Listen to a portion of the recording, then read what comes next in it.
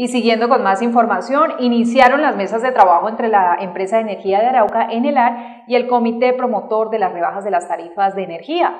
El viernes continuarán con el trabajo para culminar lo acordado en el foro.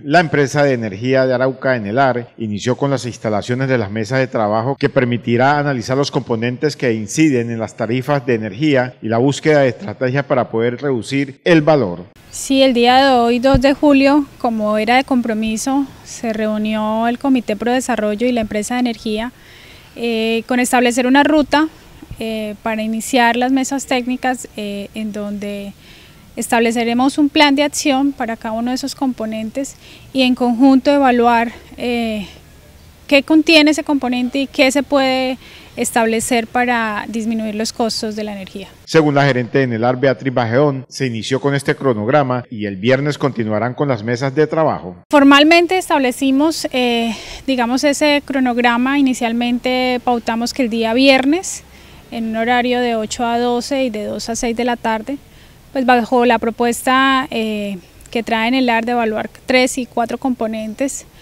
eh, trabajaremos y pues al final del día de ese viernes les comunicaremos qué, qué conclusión se dará.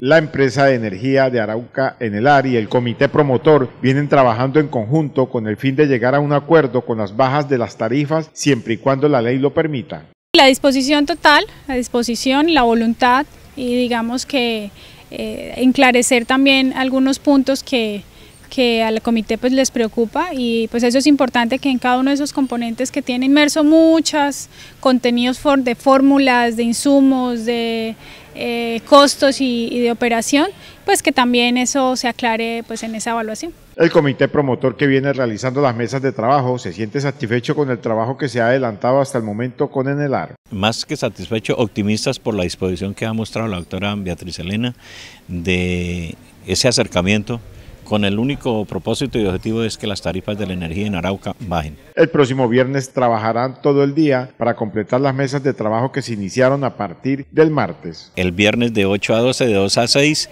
y en la semana entrante si nos queda algún tema que tratar, mm, eh, pactaremos. La dinámica del trabajo nos va dando la oportunidad de reagrupar temas, fijar horarios. La verdad es que me voy bien optimista con lo logrado hasta este momento. Según la empresa de energía de Arauca, en el AR y el comité promotor, si llegara a faltar algún punto, lo tocarían la próxima semana.